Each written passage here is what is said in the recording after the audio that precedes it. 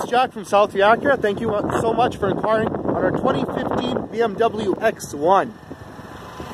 So this is xDrive, which is an all-wheel drive system. 2-liter turbo, very well taken care of vehicle. White exterior, black interior. Very well maintained. Now, when you get inside,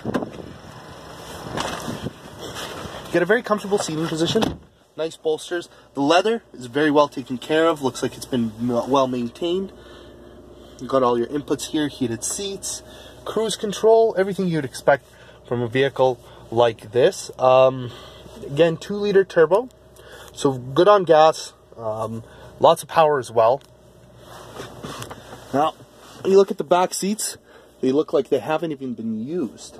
Um, nice sound system on this as well. You've got the Shiftronic system with BMW just to make it a little bit more fun to drive.